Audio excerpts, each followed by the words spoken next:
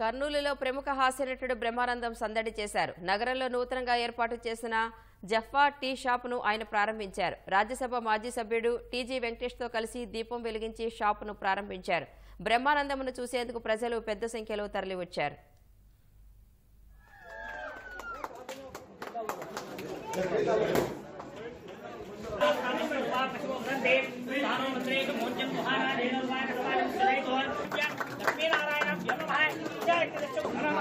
side ఇవ్వండి పంచ